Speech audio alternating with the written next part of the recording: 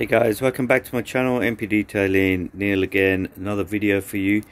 And yes, can you guess what it is? I'm sure you're going to tell.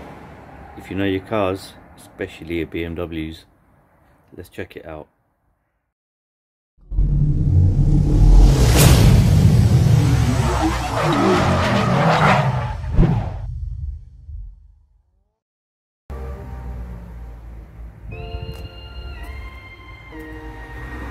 Yep, that's right. BMW E30. This is a 320i coming for a very light gloss enhancement. Paintwork's very rough on this. Bonnet's been resprayed. Let's see if I can enhance the gloss on it. Give it a quick wash. And let's take it from there. The wheels have been done already recently. As you can see. But the paintwork's not too bad you know, for a pretty old car. The hood, um, probably could do with a new hood to be honest, but you know, it is what it is at the end of the day. Um, yeah, so I'm going to be looking at this bonnet. You can see the reflection on there, but it's not very clear. I'll see if I can get it clearer than that.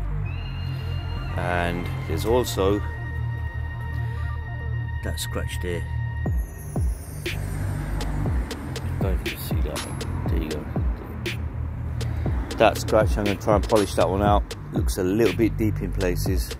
I have to be really careful because this roof, I think, leaks. And there's a massive, massive gap under there. To just, just about make it out. Um, yeah. So, it's got to be done by 5.30 today. It's going to come and pick it up. So, better start getting moving. Thanks for watching guys. Don't forget, make sure you hit subscribe. Please support my channel. Hit that like button. Add some comments below. What's your favorite E30? Or, in fact, what's your favorite BMW of all time? I do like my E30s. Um, hmm, may have to invest in one maybe in the future. Right, get to work. Okay, so what I've done so far, I've used a TFR iron remover on the paintwork to get rid of contamination. The paintwork's quite rough, it's gone really smooth now, so which is a good thing. I don't need to clay bar it. I don't think I will clay bar it because the paint is um, pretty weak in some places. So let's check it out. So it might look glossy because it's clean, but um, it's got a bit of a haze you can see by the reflection. I did clean the roof as well. I didn't want to scrub it too hard but to be honest with you this roof is quite badly faded. And it could do with um, replacing or even dyeing or something. So it is clean but as best as I can get it.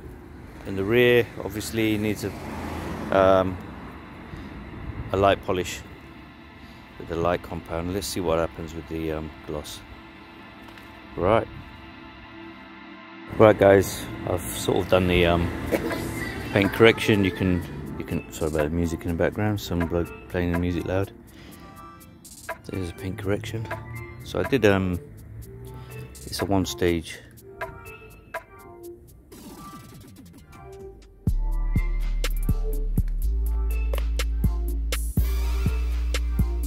And how I know that paint's nice and smooth. Is watch this guy here where is he? Here he is. He struggles to climb and the spiders can climb. Look he's slipping all over the place. He can't get a grip. I'll call that the spider test. If a spider can't walk up your paintwork it is super smooth. There's another guy here. Where is he? Oh, I can't even find him on camera now. Here he is. Zoom out a bit. See, he's struggling.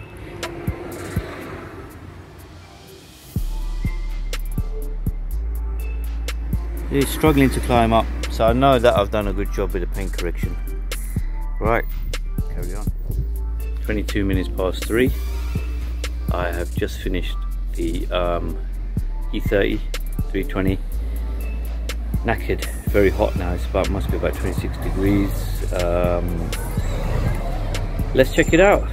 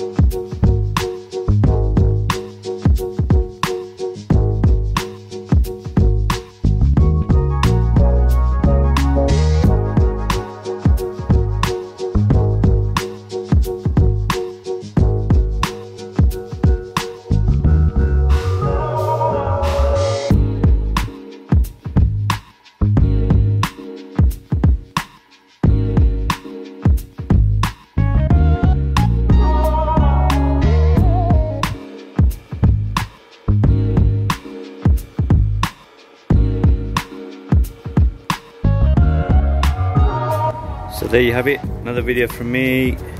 Don't forget guys, if you like what you're seeing, make sure you give me a thumbs up, hit that like button, um, add some comments below and make sure you please support my channel by hitting subscribe. I'll really appreciate if you give me a subscribe and a thumbs up for this video. Cheers, thanks again guys. Catch you in the next one.